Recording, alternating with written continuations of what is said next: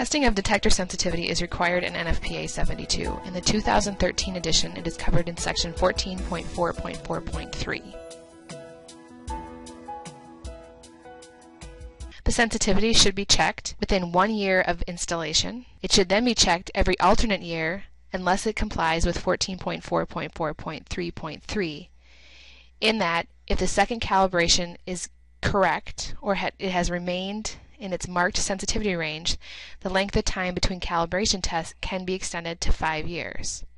If the extension is in place, any nuisance alarms need to be documented. If there is an increase in nuisance alarms over the previous year, another calibration test shall be performed. Any of the following methods can be used for checking the sensitivity of the smoke detectors.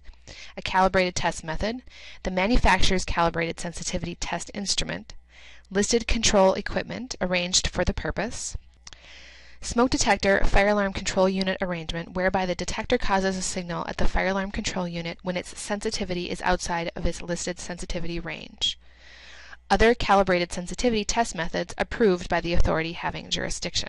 When a detector is found to be outside of its listed sensitivity or calibrated range, the detector shall be cleaned, recalibrated, or replaced.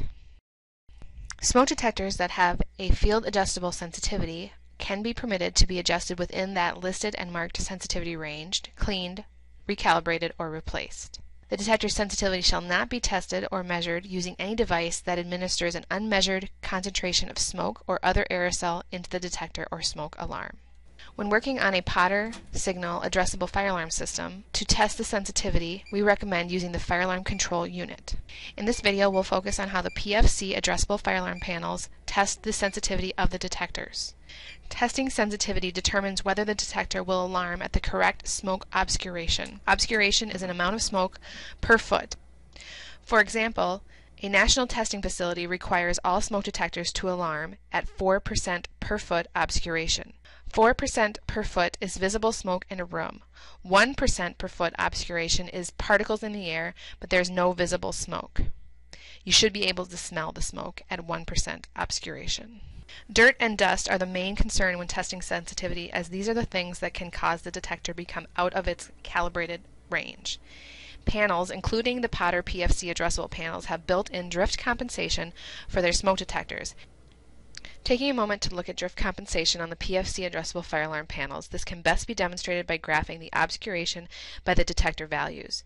When the sensitivity is checked by the panel, the detector reports an analog value that is deciphered by the panel to a certain sensitivity. The panel then determines whether that sensitivity is normal, in drift alert, a dirty detector, or an alarm condition. The PSA and the PSHA have adjustable sensitivity in the field. They can be set anywhere from 1.1% per foot obscuration to a maximum of 3.5% per foot.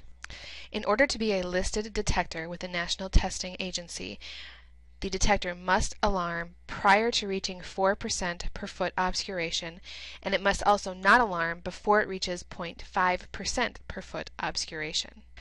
When the fire panel initializes, it records a 0% per foot obscuration, or a normal value for the smoke detector, as you can see here. When a line is drawn between that initial setting and the maximum setting, the panel can then determine the calibration curve and can then calculate an alarm threshold value for any valid sensitivity setting.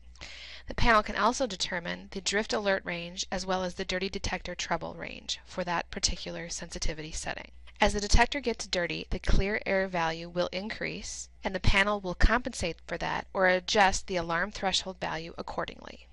As drift compensation progresses, the first stage will be drift alert, in which the PFC addressable fire alarm control panel will send an alert email to those receiving the trouble emails indicating that the detector is in a drift alert stage.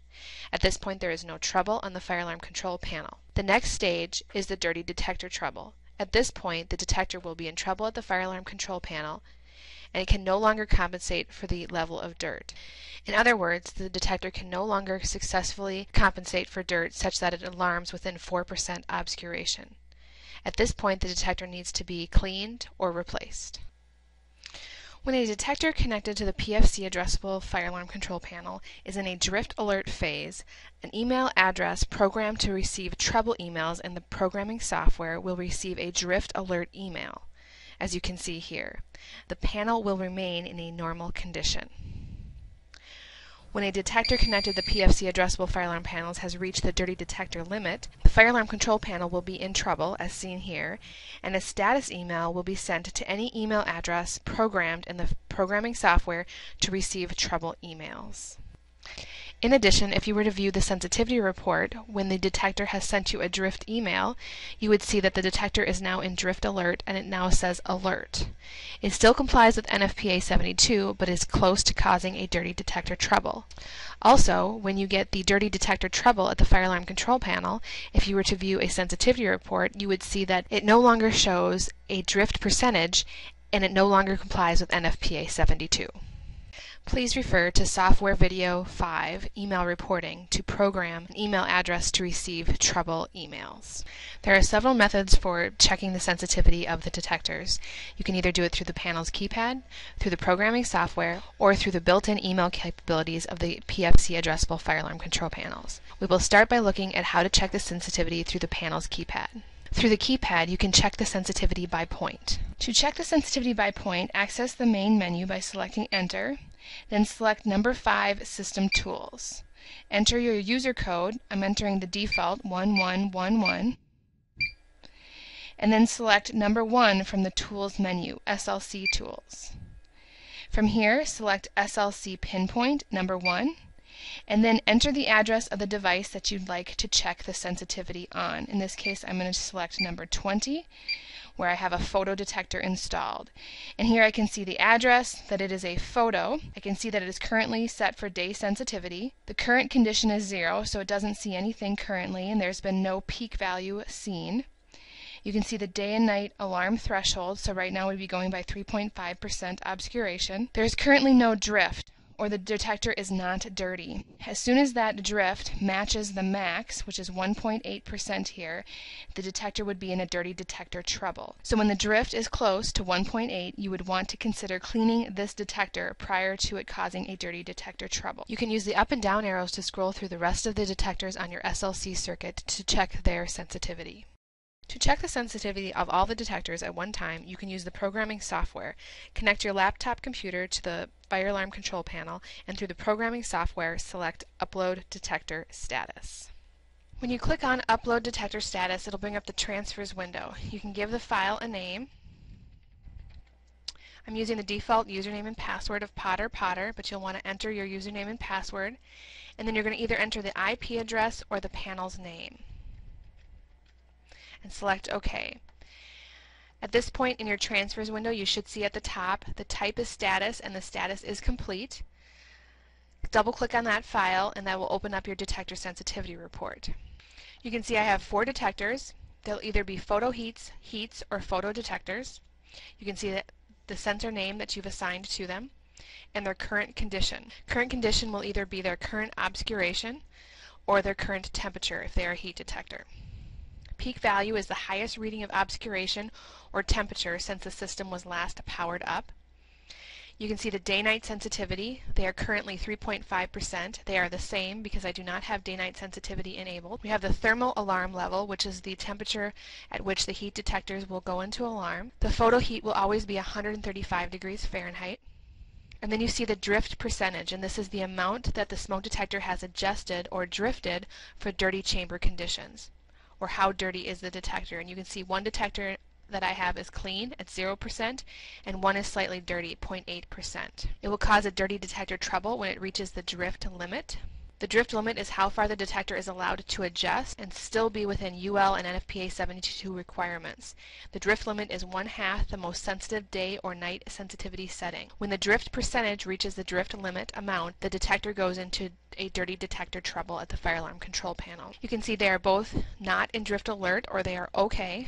In Drift Alert, an email is sent to those programmed to receive trouble emails through the programming software when the detector reaches approximately 75% of the drift limit. The panel does remain in a normal condition when you are in a drift alert stage. And these smoke detectors both comply with NFPA 72. This indicates that they are operating according to its listed sensitivity and they meet NFPA 72 requirements.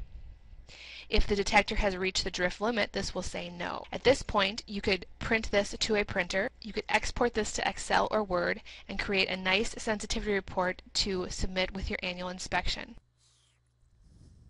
When you select to send it to a printer, it will show you a print preview of your sensitivity report, and here you can also send this to Excel or Word, again creating a nice report for your detector sensitivity test for your annual inspection. The final way to conduct a sensitivity test and generate a sensitivity report is through email. The panel will need to be connected to a network with internet access to allow emails to be sent. Sensitivity reports are attached in the emails as Excel and text files. The file sizes are very small so as not to cause network issues.